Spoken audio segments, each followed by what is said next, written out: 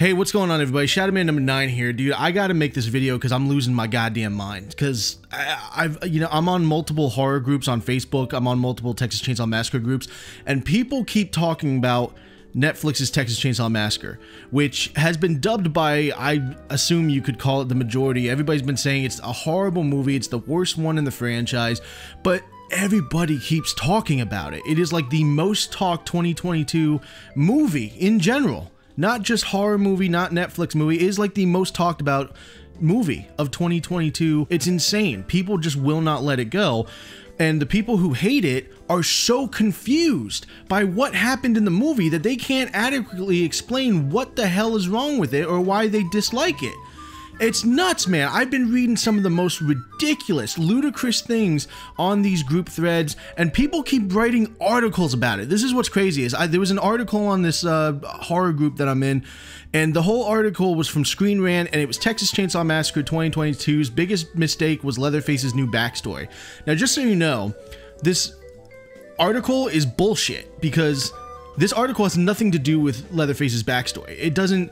They're trying to take the character and they're trying to take whatever changes were made to the character in this movie and call that the backstory. So it's like a character uh, essay on Netflix's Texas Chainsaw Massacre, and they're trying to say, well, this is the new Leatherface because X, Y, and Z. And it's complete bullshit. It's got nothing to do with the backstory. First of all, Netflix's Texas Chainsaw Massacre doesn't deviate from the original film in any way, shape, or form. It is, by every sense of the definition, a sequel. It's just not a direct continuance following the events. Like, it just doesn't pick up right after Sally, you know, escapes from the Sawyer farm. Like, that's, I guess that's what people are pissed off about is no movie addresses the after effects. Although this movie does, but 40 years down the line. But they're trying to take how Leatherface behaved in this movie and just uh, they're taking the justifications as to why he behaved in this movie and say, okay, well, this is his new backstory now. There is no new backstory. Leatherface is still a fucking Sawyer, but as far as these sequels go, like Texas Chainsaw 3D did the same thing. You know, they put Leatherface in this more sympathetic anti-hero role. This movie, I- I've been saying it from the fucking beginning, this movie is a it's a remake of Texas Chainsaw 3D. It's just done differently. It's the same fucking movie, just done differently. Instead of Verna Carson, we've got Mrs. M, Miss MC or Ginny. Uh, we've got Leatherface, who's an anti-hero. You're meant to root for Leatherface in this movie, and frankly, I did. I there's not one Texas Chainsaw Massacre movie that I didn't root for Leatherface for. I don't know what the fuck people are talking about, dude. It's insane. And oh man, take a breath, man. Hold on. Give me just give me a minute. Jeez, I'm losing my goddamn mind, dude. Seriously. So the thing is with this article is they try to say that they've changed the backstory to lure people in, but then they don't talk about an actual backstory. They just talk about how bad Leatherface is portrayed and how the movie I don't know. Here let me just let me just read you some of this. So uh, this again from screenrant.com uh, article is Texas Chainsaw Massacre's 2022's biggest mistake was Leatherface's new backstory. Again, he has no back he has no different back backstory. It's the same shit. Anyway, in 2022's Texas Chainsaw Massacre, Leatherface has a backstory that emerges as a major mistake for the movie. Billed as a sequel to Tobe Hooper's classic 1974 original, Texas Chainsaw Massacre, in which Sally Hardesty became the final girl, director David Blue Garcia's new offering has rearranged more than the original title. In the follow up to Hooper's grisly work of art, Leatherface's chainsaw is loaded with flimsy motivation as he pursues some new town uh, new in-town gentrifiers and is reunited with Hardesty, who is now a Texas Ranger. Okay, so here's the first. There's the red flag right there. It's not backstory; it's motivation, and there is a huge difference between backstory and motivation.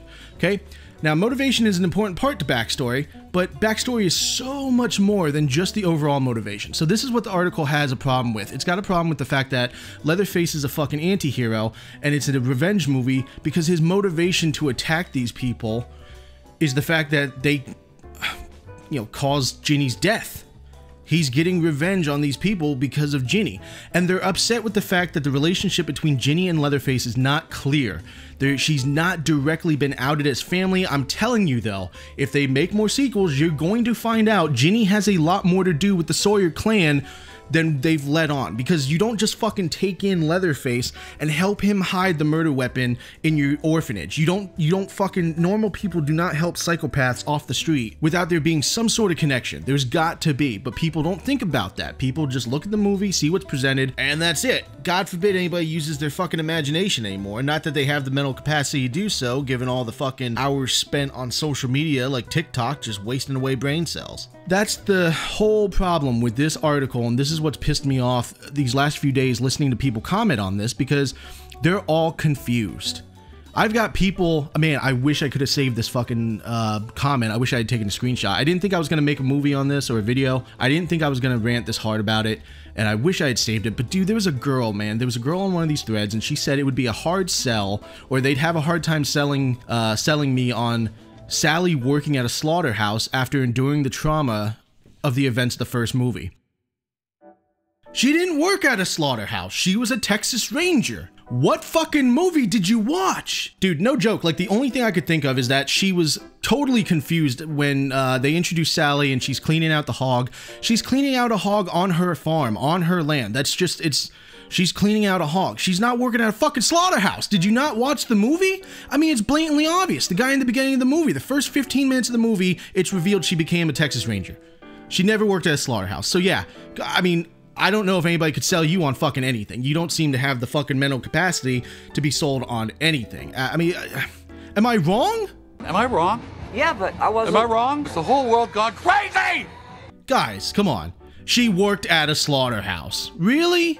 And then you got people, oh my god, throw the fucking orphanage in there, and people start losing their minds. Another thing I've been seeing is people just uh, are so confused about the whole fucking orphanage. Like, um, I'll start reading some comments here in a minute, but just to kind of paraphrase, just to kind of give you a general overview of what's been going on, is people have been saying the orphanage thing doesn't make sense because he's an adult. He doesn't belong in an orphanage. Why would an orphanage take in a grown man? He can't, eh, you can't sneak him by the system they would find out and then be like, you can't have a grown man in an orphanage. Like, this is what people fucking think. Okay? This is what I've been reading for the last week. Is all these stupid comments. Oh, Leatherface is an adult. He was an adult at the end of at the end of the the first Texas Chainsaw Massacre. He wasn't a kid, so why did he grow up in the orphanage? He didn't fucking grow up in the orphanage. Oh my god. He fucking went into hiding and hid at the orphanage. First of all, you don't have to be a child to live at a fucking orphanage. Miss Oh, what the fuck's her name? Ginny. We're just gonna call it Ginny. Ginny owned the fucking orphanage, but the orphanage was also her house. It housed young children, but it was also her house. She could take in or have people live with her so long as she had the adequate room for them. But like, if anybody had asked, she could have definitely come up with something. You know what I'm saying? You know, she could have passed him off as her own fucking family. She could have passed him off as a caretaker, as an employee. There's so many things that could have happened. And everybody's like, oh, he grew up in an orphanage? No, that's not what happened in the first movie. And how did the chainsaw get there? You wanna know how the fucking chainsaw got there? Because he got to the orphanage and they took the fucking chainsaw and hid it in the wall. You know why they hid it in the wall? Because it's really hard for police to convict you of murder without tying you to the murder weapon that they can't fucking find. I'm seriously losing my fucking like it just reading every single one of these comments and they're just it's the same comment over and over. There's so many people who are this fucking brain dead and just can't use their imagination to fill in the holes. There used to be a time where the movie would only give us what we needed to and then we used our imagination to fill it in. Now you've got to be fucking spoon fed everything because they don't have the fucking mental capacity from looking at tiktok all day to figure out how the fucking movie works. Come on dude. So let's get back into this article real quick because this is this is some good shit. So, in 2022 or in the 2022 film, Leatherface free from consequence for almost 50 years because he went into hiding and they couldn't find him because he wore a mask and it's extremely hard to find somebody when you don't know what they look like. He's down tools and retired to live out his senior years in an orphanage in the abandoned ghost town of Harlow. Like the diminishing returns of the Chainsaw legacy, the fact that he is the only orphan there indicates that the business is in decline. He's not an orphan orphan. Oh my god, dude. Why? They're they're they're trying to justify him being in an orphanage, and uh, he can't be in an orphanage if he's not an orphan. He can't be an orphan if he's not in an orphanage. What? does anybody understand what I'm saying? Like, does this piss anybody else off? It's like, I, I, I gotta have a fucking mental breakdown, dude. Seriously. The death of Leatherface's sole protector, his guardian mother figure, Ginny, from a stress induced heart attack following the failure of some investors to properly check their proprietary paperwork, turns out to be the catalyst for him retrieving this chainsaw and taking her face as his own. Yes, it is a revenge film. It is a revenge film through and through. There's there was like no misunderstandings about it. If the intention of Texas Chainsaw Massacre is to comment on the modern world by having Leatherface annihilated, then that would be fair enough. Instead, it attempts to interject or inject poignancy into the central characters, the Weepy sisters, Melody and Lila. First of all, it only injects poignancy into fucking Melody, because Melody was fucking trash. She was an absolute bitch and annoying the entire fucking movie, but I believed her sincerity regarding the situation that was at hand. She felt, I mean, I totally felt the flip. It wasn't like it was forced. I don't think it was completely out of character for Melody to suddenly flip and feel bad. I mean, she fucking watched a woman die and watch this this poor guy like lose the only person that he's had for the last couple years. So I mean, the flip seemed natural. Melody played it off very well. Lila was nothing like Melody. Lila's not like any she's not like her sister's friend. So Lila was already an innocent character and probably the better one out of the bunch. So you didn't have to inject anything into fucking her because she felt I mean she she was the victim of a school shooting. She had survivor's guilt. There was already poignancy in her fucking character. Continuing on with the article, whom Leatherface is pursuing and worse Leatherface himself. It's not worse because he's always been a sympathetic character. He's been sympathetic since the first fucking movie. The scene when Drayton goes into the kitchen and starts beating his ass just because he wrecked the door, like, I mean, you feel for Leatherface. He's in an, an abusive domestic situation and he's been raised wrong. You can't help but there you can't help but feel something for Leatherface. He's a tragic character. Leatherface has emerged in multiple Chainsaw sequels, spin offs, and different timelines with a variety of inclinations. Due to this film being a direct sequel to the original, maintaining the motive, uh, motiveless horror of Leatherface's indiscriminate killing should have taken precedent. Instead, he is given a feeble impulse to seek revenge for his guardian's death. Why is it feeble? The Sawyers were all about family. Family was everything to the Sawyers. That's everything that fucking Leatherface knew. He only knew family. His whole reason and justification for doing what he did was for family. And if Ginny was his family, then what happens when Leatherface loses his family? That's what this movie is. What the fuck happens when Leatherface when there's no one to help Leatherface control Leatherface? What does he do? He becomes a fucking ruthless brute. That's what happens. That's what this movie is. That's why I love it because there's no chains on Leatherface. There's no one to keep him in check. He just does. He does what he feels. And it's totally justified. Like, it's not like they fucking forced any of this into the movie. It's all there and it makes sense. And it's a nice short movie, too, which, although I would have liked a, a, longer movie, I like that it was nice and short, sweet, to the point because it didn't have too much um, room for error. It didn't leave a lot of room for error. It packed it nice and tight said what it needed to, showed us what it wanted to, and that was it. In Tobe Hooper's 1974 film, the themes were straightforward. Evil existed in unchecked corners of isolated human habitation, while remoteness from an assortment of DNA was breeding ground for reckless cruelty. What are you talking about? Inbreds? They never they never confirmed that they were inbreds. Rednecks, maybe, but never inbreds. I wish people would stop talking about the first movie if they don't fucking fully understand what they're talking about. Leatherface was subservient to the elder members of his family. That's correct, I just said that. His chainsaw was his pet, who, like a rambunctious dog, was the only thing that seemed to give him joy. Meanwhile, the youngsters who found themselves trapped in his lair did not represent the audience's point of view. They too were strangers, albeit ordinary ones, who, bar one, died in quick succession. That's all the first movie was. And see, that's my other point too. Everybody keeps talking about how bad the story was. The first movie doesn't have that doesn't really have that big of a story either. I had one guy who was talking to me arguing back and forth that this movie was a slap in the face because the first movie was monumentally just better storytelling. But again, I have to interject what story? Five people on a fucking road trip through Texas to, to make sure that uh, Sally and Franklin's family graves weren't disturbed in a string of grave robbings. And then they wander onto a Sawyer, onto the Sawyer's cannibalistic farmhouse where they are one by one murdered, except for Sally, who's the sole survivor. That's it. That's that's the fucking simplest storyline in a movie ever.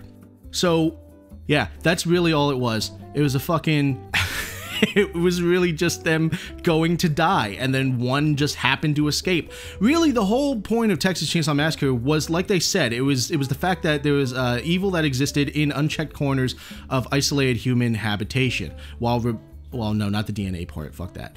Um, the isolated human habitation. Uh, the fact that the Sawyers were they were in reality they were like right they were all around us. They worked at the gas station where people went to go get gas buy barbecue. They were there. Everyday life existed with the sawyers involved but we didn't know what was happening behind their closed doors. That's the whole point to texas chainsaw massacre. You don't know what's going on in somebody else's home. You don't know what they're involved in outside of everyday life in their own private life. That's texas chainsaw massacre. Now this movie oh wait a minute what are they saying? By contrast texas chainsaw massacre's cast of characters have painful pasts and ambitious futures, and a Leatherface with a chainsaw to grind as vindication for the death of Ginny, a woman whose relationship to him isn't clearly explained because you're not letting them, you're not giving them the chance to build upon it. Let them make a few more movies and fully convey the story because it, it, seems to me like there's a grander story to be told, especially since he went back to the fucking Sawyer home. The Sawyer home still exists, it's still there.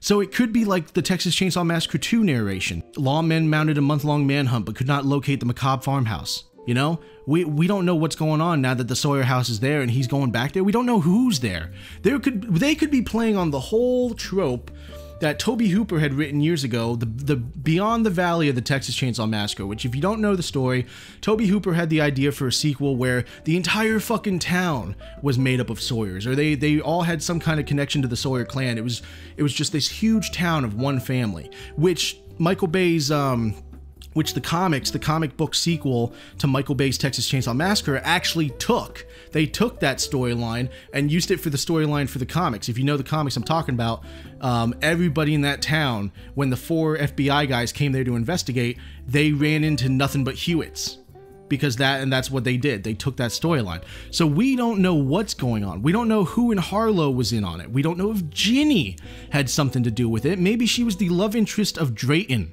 We don't know. We don't know because they haven't explained. The first movie was Leatherface. It was all about Leatherface. They are building up to it. When Sally confronted Wait, when finally confronted with Sally Hardesty and her vengeful monologue, his general ignorance for her identity is unintentionally funny. Yeah, but you're assuming he doesn't know who she is? He might know who she is and doesn't give a fuck because right now he's worried about the bitches that killed Ginny. I mean, you just you don't know you don't know what they're going for. You don't. Herein lies one of the uh, one of many of the film's problems. The hint of a motive in Leatherface's terrorist actions is immediately contradicted contradicted by his can-do idiocracy or idiocy. Despite the overall failure of the film, at times it's hard not to side with Leatherface. For one, his Herculean strength is impressive for a man at his age. Because again, if he walked around in a fucking walker or uh, drove around in a Tom Cruise Hoveround, it wouldn't be much of a fucking movie. Okay, again, imagination's got to come into play at some point when you watch these movies. You just got to take what they give you and roll with it, okay? He's his kill them all policy seems like a more efficient plan than his adversaries, Melody and Dante buying up Harlow and auctioning it off to nondescript social media hustlers. I guarantee you, though, if they didn't fuck with Ginny, it would have been fine. That's the thing. They could have actually gone through Harlow and did what they wanted to, and there probably wouldn't have been a problem until you fucked with either Leatherface or Ginny. And that's what you don't understand. You a lot of these people have this idea that Leatherface sees a person, thinks food, we gotta kill him, we gotta eat him. Like that's not that's not how that works. He doesn't have to be a cannibal. That's just what the family did back then to survive. That's what they were doing, and he went along with it. Texas Chainsaw Massacre supplements Leatherface's carte blanche killing spree with an unconvincing history that succeeds ultimately in reminding its audience to seek out the far better masks in Meat Hook's original. Dude, this whole article did nothing to pinpoint the fucking history or change in backstory. It literally just talked about why the movie was awful because of his motives. That's all it was. This is a bullshit article, and people who have been jumping on it with all of their fucking comments about why the movie doesn't make sense. Again, it's just it's just a fucking bad batch of stupidity.